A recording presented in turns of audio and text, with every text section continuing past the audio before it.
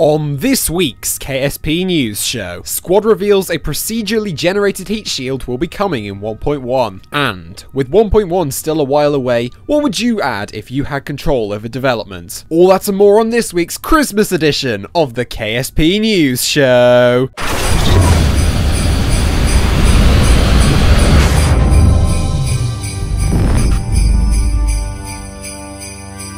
Reporting live from the Kerbal Space Center, it's your host, Jin Lee Kerman. Good morning, evening, afternoon, my fellow Kerbonauts. My name is Jin Lee Kerman. Welcome back to this week's KSP News Show. We're going to kick this KSP News Show off with a clip from I'm Pacific. Let's check it out.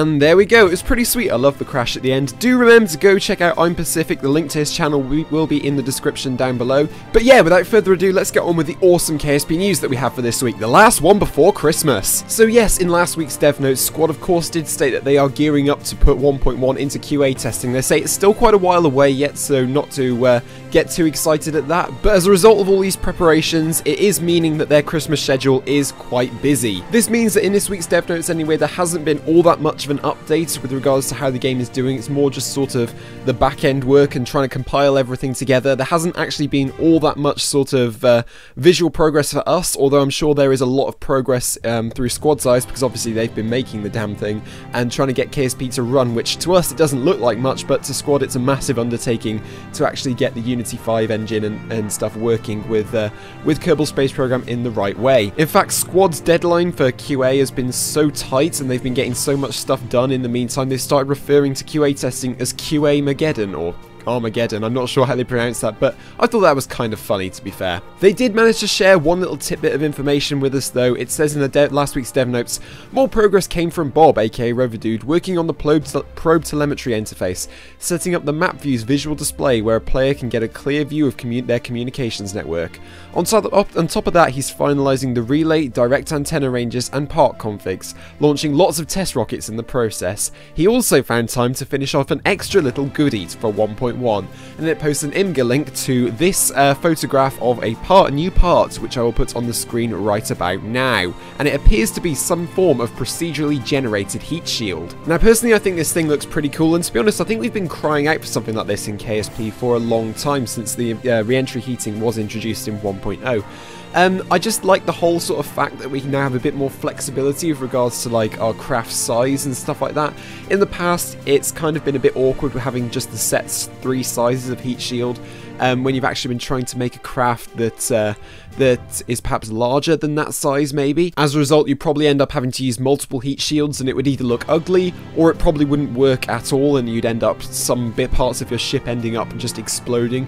It really made landing on places with thicker atmospheres such as maybe Jool, although I know you can't really land on Jool, more like probing the atmosphere of Jool and landing on Eve, tasks such as those a lot harder than they perhaps should actually be. With this new shield it should make things a lot easier landing heavier stuff on the surfaces of, like I say, Eve, as well as doing sort of Galileo-style missions to Jool, where we just drop a spacecraft in into the atmosphere at sort of many meters per second, and uh, just watch as the heat shield ablator just burns away, and we try and get uh, atmospheric data. But I digress. The main main point I'm trying to make here is this heat shield definitely has a lot of practical applications, and I honestly can't wait to actually try and use it. Hopefully, it is in all the sizes, so like the the base part of it, sort of, you know how the fairings have the 1.25, 2.5, and 3.3.5 meter sort of bases, the procedural fairings, and then you just sort of build from that. Hopefully they are the same for the heat shields, they're basically just like an inverted fairing.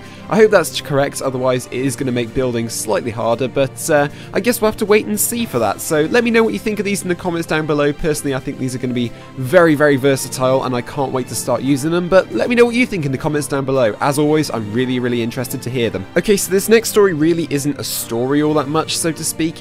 It's more sort of a discussion point. As I said, this week there hasn't all be that been all that much KSP news aside from this whole heat shield thing and the fact they're gearing up for uh, QA testing in some point in the near future. So today I wanted to sort of have sort of a minor discussion with you guys, as I do with every update, to ask what would you like to see in this next update 1.1? Now, as I say almost every update, I think my main addition, if I were to add anything into Kerbal Space Program, would probably be um, damageable or destructible terrain, or at least semi-destructible, so that if you crashed a craft maybe into uh, into the surface, it would sort of leave a crater maybe three or four meters deep, something along those lines. And I just think that would be pretty awesome because it would literally add a layer of uh, layer of, of realism into KSP, which I think's honestly lacking. And I also think that it would be uh, it would add something to do on the surface of bodies as well, because this wouldn't just have the effect of looking very funny when you actually craft crash your craft. It could in fact be used for practical purposes. As I've stated before, it could give the Kerbals um, that you have on the surface of a planet something to do on EVA, meaning they could excavate a crater, sort of I don't know, the size that you want, and it means you could land a base module in there, and so as a result you could sort of have like radiation protection, or just have a more efficient sort of storage for your base, meaning that it can be more compact in size, but also have a larger volume inside, uh, because you'll have a layer almost like a basement down below the surface. Something like that probably would take a long time to add though, so I don't think it's probably, well, it's almost certain it's not going to be able to be fitted into, uh, into 1.1, but honestly, with the stuff that's coming in 1.1, I'm honestly not um, not worried about that whatsoever. I mean, this is just a this is literally just a suggestion. It would probably have to be an update in itself, even if it did come out. But that's just one of the main things that I would probably like to see in uh, Kerbal Space Program in the future at some point. On top of that, I would also like to see a bit more beautification. Obviously, the Unity 5 port is going to optimize everything beautifully for Kerbal Space Program, which means we should see a notable increase in frame rate um, across most graphics cards and stuff like that. Um, so that would give Squad a little bit more leeway to sort of like sort of doll the game up a little bit and sort of make it look a little bit prettier than it does at the moment because while the stock game doesn't actually look too bad I do think it does look rather ugly in some cases, especially when you're just in low Kerbin orbit and you've literally there's no sunrise or sunset coming. It's just like the ocean and then the uh, the the terrain underneath, just sort of uh, clipping through the water and stuff like that. It does look kind of odd at sometimes. So I do think that uh, beautification could be something that they could perhaps touch on maybe um, in uh, in either 1.1 or a future update. But I want to know what you guys think. This is a discussion video, obviously. Do you think I'm completely wrong? Do you agree with what I say? What are your opinions if you could add anything into 1.1? Leave your thoughts in the comments down below. Like I say, I do read all the comments. I do like them when I have read them. But that's going to pretty much round it off for this week's KSP News Show, guys. It has been a shorter one than usual, and I know you guys have been crying out for a uh, a shorter episode. This will probably be the last KSP News Show of uh, before Christmas, and maybe before the New Year, depending on if any uh, massive developments come out in the time between uh, now and obviously New Year, to start of 2016. I've got to dash off to a Christmas party now, guys. We're celebrating uh, breaking up for college for the Chris for the uh, Christmas holidays. But aside from that, guys, that's pretty much going to round it off for this episode. So it basically remains for me to say, remember to like and subscribe for more. My name is Jinley Kerman, and as always, stay classy.